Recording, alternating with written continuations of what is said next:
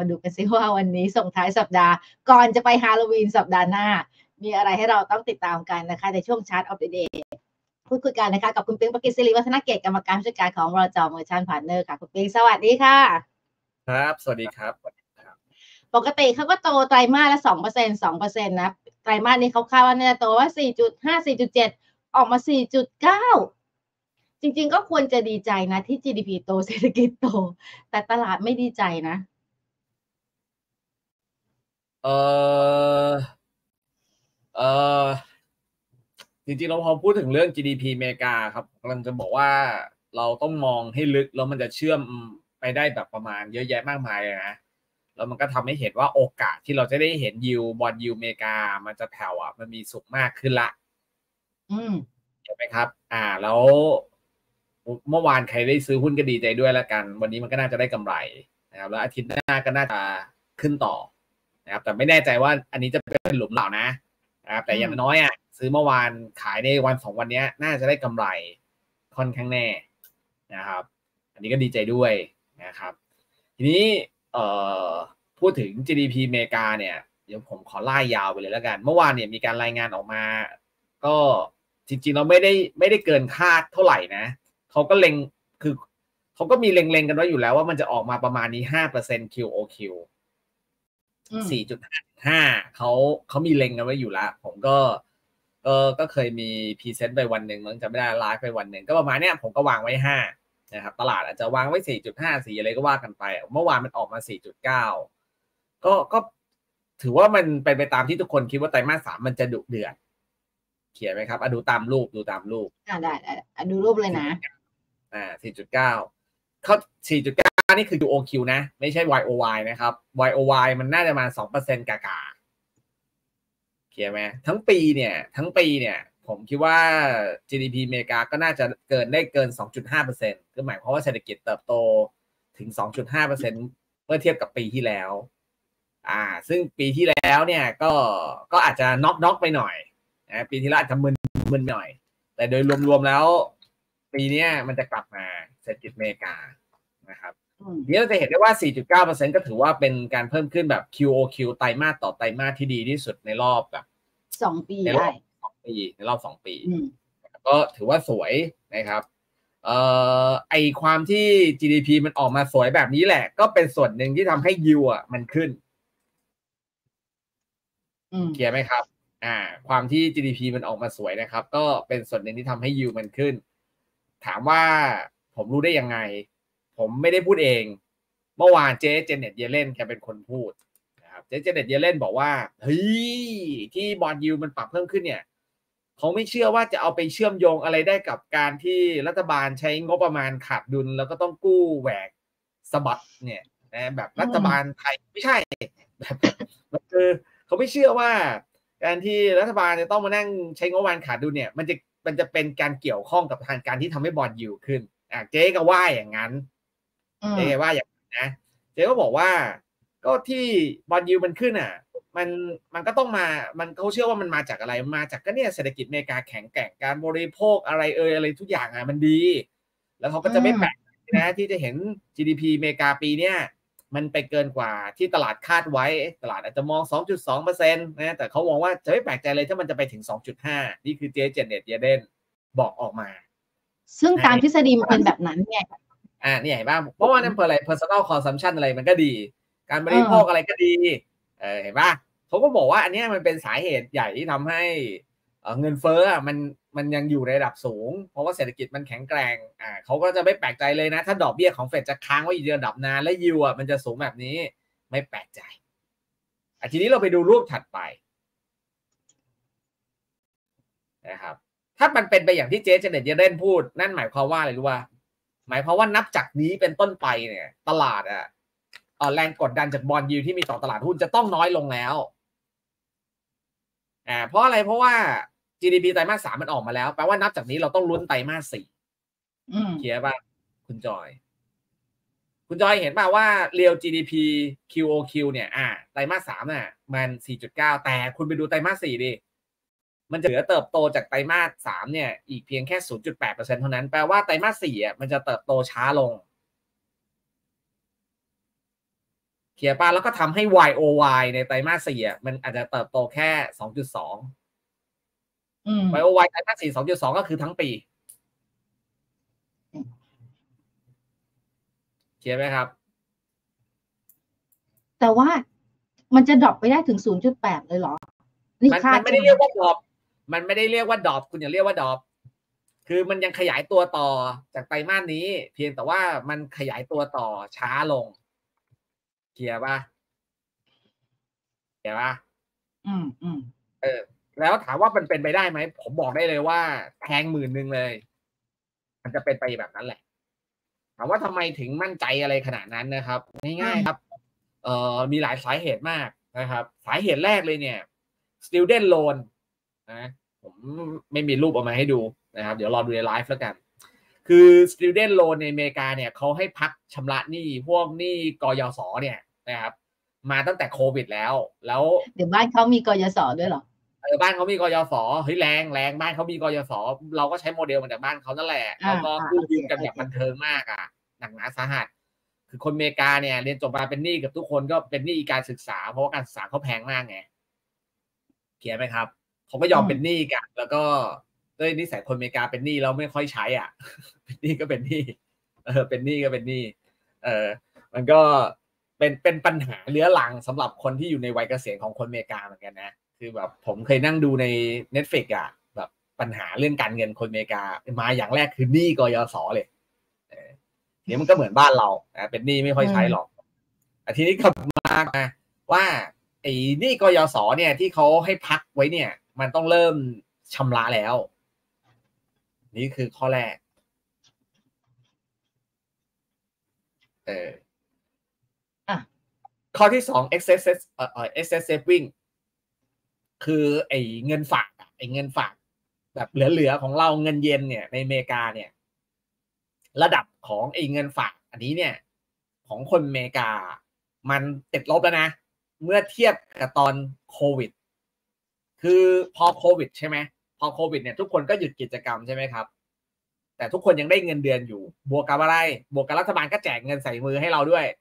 ก็เลยทำให้ s s saving เงินฝากอะส่วนเกินมันเยอะ แต่ตอนเนี้ยอีพวกเนี้ยมันใช้กันไปจนหมดแล้ว งงว่าจนติดลบละ ฉะนั้นก็แปลว่ากำลังกำลังซื้อกำลังการอุปโภคบริโภคอะมันก็ไม่ได้ดีไปเหมือนเดิม อ่า ในขณะเดียวกัน อยู่คุณกำลังเจอกับสภาวะอะไร กับสภาวะเรื่องของออดอกเบี้ยที่มันอยู่ในระดับสูง มันก็ก่อให้เกิดปัญหาข้อที่สามว่า การผิดนัดชำระหนี้อ่เพียบเลยนะทั้งเครดิตการ์ดนะการผิดนัดชำระพวกcredit card นะครับเอ่อพวกเอ่อ auto loan อ่า credit card แล้วก็ยานยนต์เนี่ยเบี้ยวกันมากที่สุดในรอบสิบปี โอเคปะโอเคปะแล้วเรากำลังจะต้องมาเจอซ้ำด้วยเรื่องอะไร อี student loan คือไอ้นี้กยศอ่าในขณะเดียวกันอะไรอีก ตัวสินเชื่อบ้านดีบ้านนะในอเมริกานะ ตัวมอ r เกตอ่ามอ r เกตเลดนะฮะมอ r มอ r เกตเลดไม่รู้ออกเสียงไงเจ้านายผมบอกว่าอย่าไปออกเสียงโดยมีตัวทีมอ r มอ r เกตมอ r เกตเลดมอ r เกตไม่รู้ออกเสียงไงดีอะก็มอ r เกตอะไรอะมอ r เกตอ่ามอ r เกต มอ r เกตเลดก็คือสินเชื่อสังหาในอเมริกาเนี่ยไอ้ดอกเบี้ยอสังหาเนี่ยตอนนี้มันไปแปดเปอร์เซ็นต์มันยังไม่ได้ส่งผลลบคุณจอย ยังไม่เห็นใครเบี้ยวหนี้บ้านมากนะยังไม่ใครยังไม่เห็นมีใครเบี้ยวจ่ายค่างวดมาก เพราะอะไร เพราะว่าดอกเบี้ยจ่ายค่างวดเนี่ยมันยังไม่สูงอ่าเพราะเพราะว่าเขาก็กู้หนี้ยืมสินบ้านมาตั้งแต่ในอดีตใช่ป่ะแล้วในอดีตดอกเบี้ยมันต่ำมันต่ำมันต่ำมากๆ มันแค่ไม่ถึงสามเปอร์เซ็นต์่ะ แต่วันเวลาผ่านไปอะ ปีปีที่แล้วเริ่มขึ้นดอกเบี้ย ปีนี้ปีที่สองปีหน้าจะเป็นปีที่สามอะไรพูดนี้ใช่ไหมมันเริ่มมีเหตุการณ์รีไฟแนนซ์อันโหดเหี้ยมอำมหิตขึ้น จากสามเป็นแปดเปอร์เซ็นคุณคิดเอาเองดิมันจะกระอักเลือดไหมล่ะ เออ เพราะฉะนั้นเนยการผิดนัดชำระหนี้การเบี้ยวหนี้ค่างวดนะการจ่ายค่าการเบี้ยวค่างวดในบ้านเนี่ยก็จะสูงขึ้น แล้วทุกอย่างอะมันเริ่มตั้งแต่ไตรมาสสี่นี้แหละเออ แรงบีบคั้นหลาย ๆ อย่างอะมันจะมาเกิดขึ้นในช่วงนี้ คือแล้วยิ่งยิวสูงอะไรอย่างนี้เนี่ยโอ้โห ผมเชื่อว่าชะลอ ชะลอ GDP มันก็เป็นไปตาม มันก็เป็นไปตามอะไรรู้ป่ะมันก็เป็นไปตามหุ้นอเมริกา คือหุ้นอเมริกาตอนไตรมาสสามอะมันขึ้น ทุกคนมันก็อืมคึกคักดิใช่ป่ะแล้วตอนนี้มันลงไตรมาสสี่คุณคิดว่า GDP มันก็จะเป็นไปตามนี้ ฉะนั้นแล้วยิวมันจะเริ่มตอบสนอง คือมันจะไปต่อยาก แล้วถามว่าทำไมเมื่อวานมันขึ้นเว้ยคุณจอยมันมีเรื่องหาเมื่อวานทำไมบอลยูมันแบบว่าโอ้โหดีขึ้นมาจะกลับไปห้าเปอร์เซ็นอีกแล้วคือเมื่อคืนวันพฤหัสอะ มันมีการประมูลพันธบัตรอเมริกา ไม่รู้อายุเท่าไหร่ เออแต่ว่าห้าปีมั้งตัวห้าปี แล้วมันแบบโอ้โหคนมันไม่เอากันเลยอะเออยิวมันก็เขาก็เอายิวกันโหดๆอะ คือประมูลกันยิวโหดๆไปเลยเขียป่ะ เออยิวมันก็เลยพุ่งขึ้นสูง แต่มันมีเรื่องหาก็คือเมื่อคืนก็ทำนองนั้น เมื่อคืนมีการประมูลตัวเจ็ดปี โอ้โห กว่าสามจุดแปดหมื่นล้านเหรียญนะไซส์นะ ก็จัดไปเลยอะยูมันตั้งสี่จุดเก้าเกือบห้าเปอร์เซ็นต์อะเจ็ดปีอะคือเมื่อวานคือพีคมากตกยิวในการประมูล ทีเนี้ยพอประมูลกันเสร็จใช่ป่ะยูมันพีคเอาในความเป็นจริงแล้วอะเอ่อ ตัวบอลยูในอเมริกาก็ต้องพุ่งขึ้นต่อสิกลายเป็นว่าไม่พุ่งเพราะอะไรว่าเขามองว่าก็อาทิตย์หน้าไม่มีละไม่มีประมูลอะไรมันๆแบบนี้ละแล้วอาที่หน้ามันมีอะไร FOMC meeting เขาบอกว่ายิวอะมันได้พักสงบชั่วคราวแล้วถึงถึงเวลาละมันก็เลยเหี่ยวลงมาเออแต่ว่าสถานการณ์อะผมว่าผมมันไม่ใช่แบบเจ๊เจเน็ตเยเล่นพูดแน่ๆเพราะว่า คือ คือมันรัฐบาลอเมริกามันต้องแบบว่าเบิก มันต้องไม่มีการใช้จ่ายเยอะมาก ไม่ว่าจะเป็นการสนับสนุนยูเครนต่อ หรือว่าสนับสนุนอิสราเอลต่อ มันต้องใช้เงินเยอะใครดูก็ออกแล้วอะว่ามันต้องใช้เงินมหาศาลใช่ปะพอมันต้องใช้เงินมหาศาลก็รัฐบาลก็ต้องมีออก bond oversupply ตรงเนี้ยมาเยอะๆ มากๆ แต่ว่าอืมถ้าเกิดตัวเลขเศรษฐกิจของอเมริกามันเริ่มชะลอตัวลงอะเงินมันเริ่ม move กลับเข้ามา เพราะมันเพราะมันจะรู้ว่าถ้าตัวเลขเศรษฐกิจอเมริกาชะลอตัวลงบวกกับรัฐบาลอเมริกาต้องการ กู้ยืมหนี้ยืมสินเยอะขนาดเนี้ยเฟดเองอะก็จะส่งสัญญาณลดดอกเบี้ยเร็วออกมาได้ไอ้ยิวมันก็จะหล่นลงมาเคลียร์ไหมอืมดังนั้นมันผมว่าสถานการณ์มันกำลังเบาขึ้น แล้วก็เมื่อวานหุ้นไทยอะ มันก็ลงแบบ ลงแบบแพนิคเซลอะ มันมีการฟอสเกิดขึ้นนะในบางจุดนะครับ ลงแบบแพนิคเซลเกินไปเพราะฉะนั้นวันนี้มันก็ตีกลับบวกอยู่แล้ว แล้วก็อาจจะขึ้นไปเกินสามร้อยแปดสิบได้ไม่ยากนัก แต่จะยืนได้ นานหรือเปล่าอันนี้ไม่แน่ใจ เพราะว่ามันเห็นอาการอ่อนแอของตั้งแต่เมื่อวันพุธแต่วันพุธเนี่ยค่อนข้างอ่อนแอ จะบวกไปยี่สิบละสุดท้ายแล้วเหลือเหลือบวกสิบสัญญาณมันไม่ดีตั้งแต่วันพุธแล้วไงว่ามันมีความอ่อนแออย่างซ่อนอยู่ วันเนี้ยก็จะเป็นท่านตัก็วจากวัดนี้ไปเนี่ยก็ในช่วงไตรมาสเอาสี่สิเราเหลืออีกสองเดือนเข้าสวยๆนะ วันนี้ถ้าเกินหนึ่งสามเก้าสี่ได้นะ ก็สวยเลยหนึ่งสามเก้าสี่เหรอใช่ วันเนี้ยถ้าเกิดคุณลองจินตนาการเป็นแท่งเทียนเขียวแล้วปิดตัวเหนือหนึ่งสามเก้าสี่ดิมันก็จะจเป็นริงๆไม่อยากจะจินตนาการแท่งเขียวเลยจินตนาการไปสองรอบเฮ้ยไม่ไม่ไม่ไหววันนี้อะผมว่า วันนี้ผมว่าจินตนาการได้ หลายอย่างแล้วก็ทำไมผมถึงมั่นใจว่าผมดูบาทไงเมื่อวานบาทอืมแข็งแกร่งที่สุดในเอเชียนะครับ เห็นป้าแค่รัฐบาลยอมถอย เออแต่ไม่รู้จะถอยจริงเปล่านะ เพราะว่าในแง่การเมืองแล้วถือว่าเสียเสียรังวัดสุดอืม บาทได้แถวๆสามสิบหกยี่ห้าๆประมาณนั้นเห็นป้ามันไหมวันนี้ไล่ยาวอย่างเดียวเพราะว่ามันเชื่อมโยงดีๆแล้วสนุกไงเออวันนี้ก็ชัดเจน ชัดเจนแล้วก็เดี๋ยวเอาไปเชื่อมต่อวางแผนกัน แต่ว่าเท่ากับว่าสองเดือนในช่วงไตรมาสสี่ที่เหลือ เราจะเจอแต่ข่าวร้ายนะ แต่ว่าจะเป็นข่าวร้ายที่ลดแรงกดดันในตลาข่าดวร้ายหุ้อะนไรข่าวร้ายอะไรเอ้าก็ข่าวร้ายในเมืองนอกไงที่เล่าเล่าเล่าเล่ามาน่ะ มันไม่ข่าวร้ายแล้ว ผมเลยบอกว่าจากเนี้ยเศรษฐกิจอเมริกามันจะเริ่มชะลอให้เราเห็นแล้ว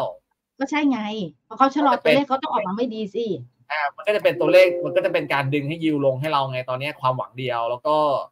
อีกความหวังหนึ่งก็คือติดตามเรื่องของ QT ของเฟดอาจจะเริ่มมีคนเล็งแล้วว่าว่าเฟดต้องหยุดแล้วมเออ จับตาเรื่องพวกนี้ไว้ให้ดีนะ อืมมคุณคิดดูดิรัฐบาลอเมจะริได้กาหายออกใจพันธบัตรบ้างโอ้โห เจอยิวไป 4.9 เกือบ5เปอร์เซ็นรัฐบาลไม่เจ๊งเหรอเฟดต้องเฟดก็ต้องจัดการอะไรบางอย่างแล้วอะ ถ้าเป็นแบบเนี้ยโอ้ยเห็นรูปอะอตัวย่างเองนี้แล้วนะผมขอหายใจบ้างขอหายใจบ้าง แต่ว่าดูจากดูดูเท่าไหร่นะจอยดูดูดิดูดิโอ้โหโอ้โหนี่หน้าเหมือนปันผลเลย เสื้อหลวมมากเลยนะเนี่ยโอ้โห อะแต่ว่าดูจากดูจากสถานการณ์แล้วเดี๋ยวเราเราลุ้นกันต่อลุ้นกันต่อยังไงก็แล้วแต่อยู่ในตลาดหุ้นนะคะคุณผู้ชมเดี๋ยวเราค่อย ๆ ตามสถานการณ์ไป หลังจากที่เราเห็นตัวเลขต่างๆทยอยประกาศกันออกมา แต่ถ้าเกิดว่าเป็นอย่างที่คุณปิงว่าก็เดี๋ยวอาจจะมีมีลุ้นเล็ก ๆ แล้วกันเนาะไม่อยากจะลุ้นเยอะแล้วตอนเนี้ยเหนื่อยอยากจะไปทำติ๊กต็อกติดตะกร้าละเห็นว่าตลาดเป็นแบบนี้นะคะอะเต้นได้กันดีกค่ะว่าได้ค่ะวันนี้ขอบคุณมากค่ะ